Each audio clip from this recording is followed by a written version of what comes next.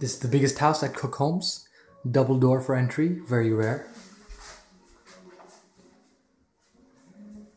Closet, nice little aisle window, pot light. Little short corridor effect, but very open concept as compared to most houses.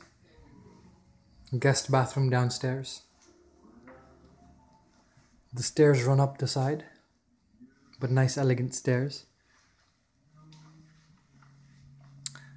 And then very, very big open feel in this house. Kitch, formal dining, living, kitchen, and breakfast, as well as a little, little office den with French doors.